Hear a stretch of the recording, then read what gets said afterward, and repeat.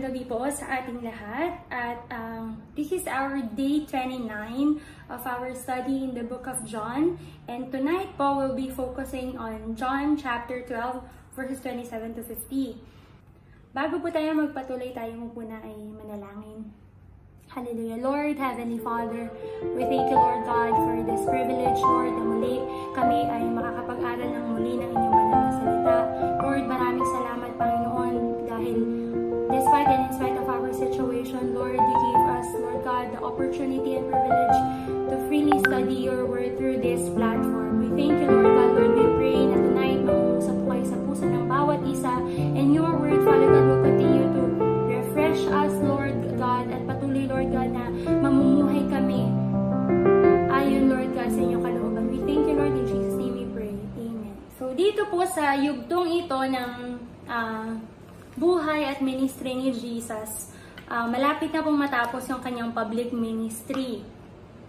So kung babalikan po natin yung ah, intro ng John chapter 1 verse 10 to 11, sabi po doon, He was in the world and the world must, was made through him, and the world did not know him. He came to his own and his own did not receive him.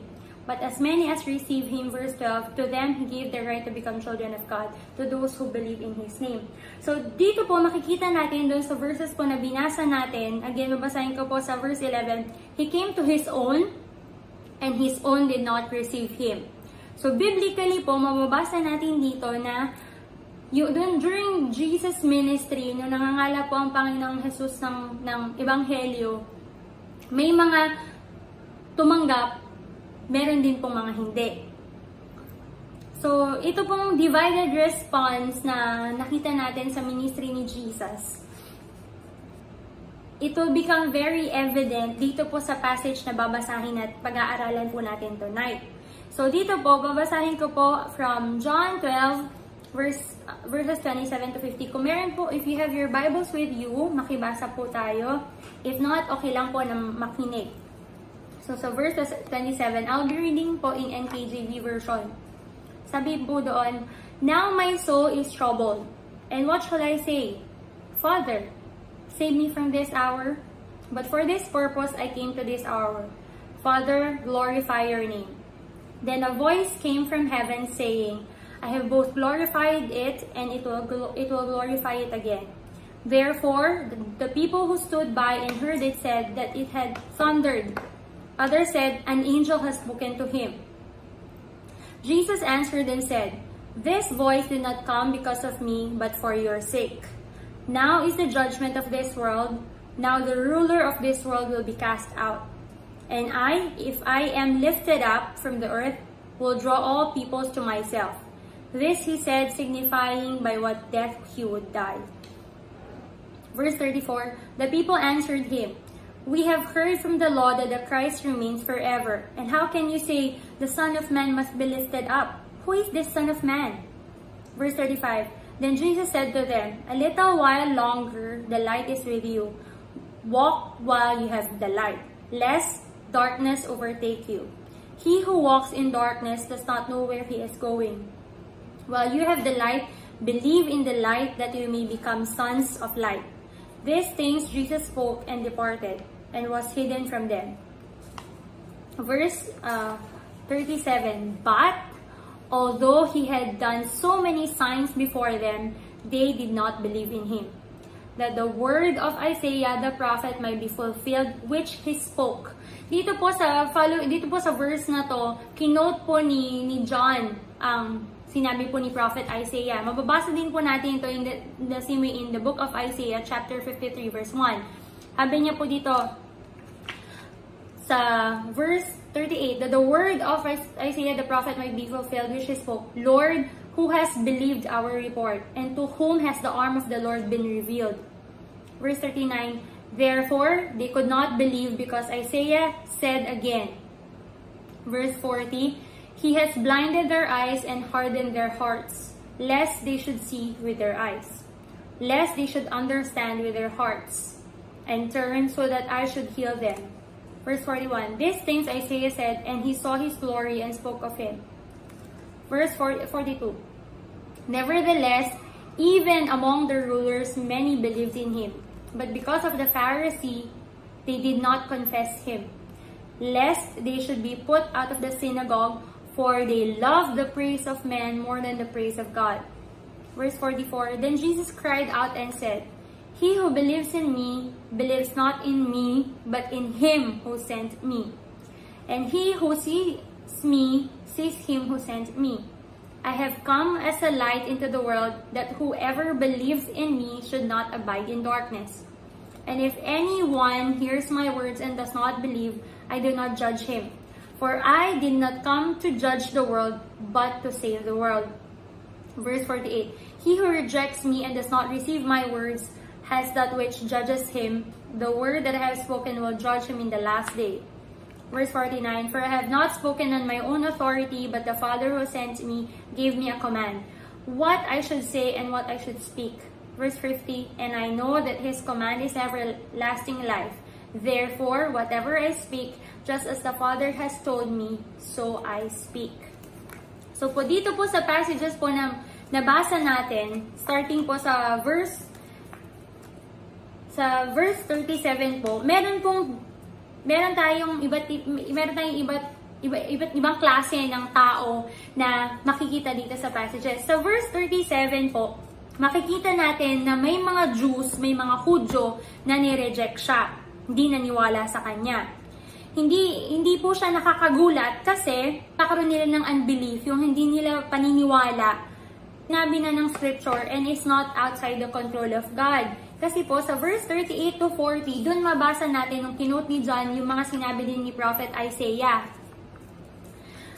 So, alam ng Lord na ito yung gagawin ng tao, batid ng Panginoon na may mga tao na hindi maniniwala sa Kanya. Pero may binigay ang Diyos sa tao na uh, responsible will or we can choose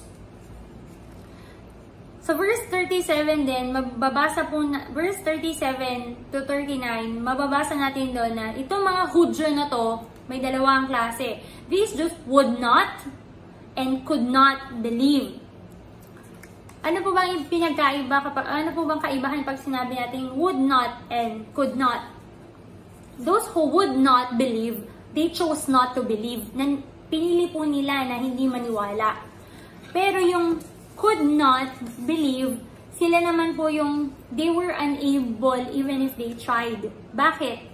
Kasi di ba po nakalagay sa John 12 verse 39 to 24, babasahin ko po siya sa Tagalog. Ito po yung uh, sinabi din na prophecy ni Prophet Isaiah. Verse 39, sinabi pa ni Isaiah na kaya ayaw nilang sumampalataya ay dahil binulag ng Diyos ang kanilang mga mata upang hindi sila makakita at isinara niya ang kanilang mga isip upang hindi sila makaunawa. Dahil baka manumbalik pa sila sa kanya at pagalingin niya sila. So kahit na gusto nila, they could not, they are they they were unable to do so. So gan kaya may dalawang may dalawang difference po yung would not, they chose not to and could not, they cannot. They they were unable to believe. Pero may mga Hudyo din po na nanampalataya pero takot sila sa pag-uusig. Tatakot sila sa sasabihin ng ibang tao. They remain fearful to openly acknowledge Jesus Christ. Ano yung reason? Bakit, bakit they are so afraid to confess? Pababasa naman po natin yung reason sa verses 42 to 43. Sabi po niya, babasahin ko po sa, sa Tagalog. Ganon pa man, maraming puno, pinuno ng mga Hudyo ang sumampalataya kay Jesus. Pero, inilihim nila ang kanilang pananampalataya dahil takot silang hindi natanggapin ng mga pariseyo sa mga sambahan. Verse 43, sapagkat mas ginusto pa nilang purihin sila ng tao kaysa ng Diyos. Yun po. Kaya, nanampalataya sila pero naging, naging mas importante sa kanila yung relihiyon. Natakot sila na, na hindi na sila papasukin. Natakot sila na, na itakwil sila ng relihiyon nila. Kasi mas mahal nila yung sinasabi, yung sa sinasabi ng ibang tao at yung acceptance ng ibang tao at glory mula sa tao kaysa kalulhati na galing sa Diyos mas pinagbigyan nila ng pansin, mas mas malaki mas mas malaking impact sa kanila ng sasabihin ng ibang tao at yung acceptance ng ibang tao kaysa sa acceptance at ang sasabi sa sasabihin ng Diyos. Tayo po siguro dito nung bagong kristyano tayo or kahit po siguro matagal na tayong mananampalataya pero may mga kaibigan tayo na against sa mga sa mga beliefs natin, sa faith natin, those who are mocking our our uh, faith or naranasan natin yung yung state na takot tayong mag-share ng mga ginagawa natin sa church o yung takot tayong i-share sa kanila yung yung mga ginawa ng Panginoon sa atin. We are so scared to confess Jesus in front of them. We're so we're so cautious in in uh, sharing with them. Natatakot tayo. Pero ano po yung sinabi ng Bible? Sabi po ng Matthew chapter 10 verse 33. But whoever denies me before men, him I will also deny before my Father who is in heaven. So kung i-deny natin ang Panginoong Jesus sa harapan ng ibang tao, i-deny din niya po tayo sa harapan ng Panginoong Diyos. So in the face of this, this divided response, John tells this last verse of Jesus' public ministry. Tignan po natin yung points that Jesus made. Number one, there is solidarity. When we say solidarity, merong unity between Jesus and the one who sent Him, and that is God. Sabi po ng verse uh, 44 to 45, those who reject His words reject the Father's words. As well, because Jesus only said what the Father told Him to say, in the way the Father wants Him to say it. So, babasahin ko po ang verses 49 to 50 sa Tagalog. Sapagkat ang mga aral ko'y hindi galing sa sarili ko lang, kundi galing sa amang nagsugo sa akin. Siya ang naguutos kung ano ang sasabihin ko. Verse 50, At alam ko na ang mga utos niya ay nagbibigay ng buhay na walang hanggan. Kaya kung ano ang pinasasabi ng Ama, iyon lang ang sinasabi ko. So makikita muna muli po natin dito na yung tumanggap at naniwala kay Jesus, ibig sabihin po naniniwala din sila sa Ama. Pero yung mga nag-reject kay Jesus Christ, hindi lang nila nireject si Jesus, nireject din po nila si God. Because dito po sa verses na to, makikita natin yung unity ng, ng Panginoong Jesus at ng Panginoong Diyos. God the Father, the unity between God the Father and God the Son. Kasi whatever Jesus spoke, it came from the Father. And G Jesus spoke it in the way that God wants Him to. So number two, Jesus is the light in the midst of darkness. Mababasa po na sa verse 46. Babasahin ko po sa Tagalog. Naparito ako bilang ilaw ng mundo upang ang sino mang sumampalataya sa akin ay hindi na manatili sa kadiliman. Mababasa din po natin siya dun sa mga naunang uh, verses. Uh, mababasa din po natin ang ang passages bila, as Jesus being the light of the world in verses uh, 35 to 36 isa po, no, kung, kung babalikan po natin nung nag-aral po tayo nung uh, day 26, kung hindi po ako nagkakamali, na uh, nabanggit din po siya ni Sister Clem. Isa po sa takeaway doon is, when, when you choose to travel with Jesus Christ, as Jesus being the light of this world, it doesn't mean that there, there, there will not be any obstacles along your way it doesn't mean that there will they will not be any hardship along your way. But the good news is if you choose to travel with Jesus, if you choose to travel with the light of this world, even if there are obstacles, even if there are hardships, one thing will remain true. You will never be alone. You will always be carrying with you that light that even if they are obstacles and hardship, you can see where you are going because you have your guide with you. And that is the light of the world, which is Jesus Christ. And thirdly, number three, His words lead to eternal life for those who believe. In verse 50, sabi po doon, And I know that His command is everlasting life. It is urgent that people choose the right response to Jesus in order to avoid judgment and have eternal life. Meron pong sense of urgency. Kaya the best time for everything is always now. The best time to accept Jesus Christ is now. The best time to believe in Jesus Christ is now. The best time to travel with the light of the world is now. Pero ang may tanong po kasi dito sa, sa passages na to in the book of John, bakit nga ba nahihirapan ang mga tao na manampalataya kay Jesus? Bakit kaya napakahirap? Bakit madaming pa rin ang hindi na nampalataya sa Kanya? Di ba sabi po sa verse 37, although they have, they have seen what He had done, they saw all the signs, But still, they did not believe, they did not receive Him. Bakit kaya? Dito na lang po sa mundo, sa, sa, sa, sa mundo, no? marami nang, marami na, ang mga tao, marami nang natanggap na pagpapala galing sa Panginoon. Marami na silang natanggap mula sa Panginoon, ngunit nahihirapan pa rin silang manampalataya. Bakit? Bakit? Bakit, napa, bakit para, parang napakahirap man, man, manampalataya sa Panginoon? Wala namang masamang ino-offer ang Panginoon. All the things that the Lord has been offering us are all good. Because he, it all comes from a good Father, a good God. Makikita po natin dun sa verses 37 to 40 ng ating nabasa at napag-aralan, makikita po natin dun yung mga tao, tayo mga tao, we are stubborn, disobedient. Diba? Nabasa po natin na matigas ang ulo. Diba ang bata po kapag, pag sinabi mo ang bata matigas ang ulo, kahit ulit-ulitin mo, hindi pa rin yung makikinig. Kapag matigas ang ulo, naka-experience na ng, ng pain, pagsabihan mo, uulitin niya pa rin yan kasi matigas nga po ang ulo. So, basahin po natin ang Isaiah 65 verse 2. Sabi po doon, I have stretched out my hands all day long to our rebellious people who walk in a way that is not good, according to their own thoughts.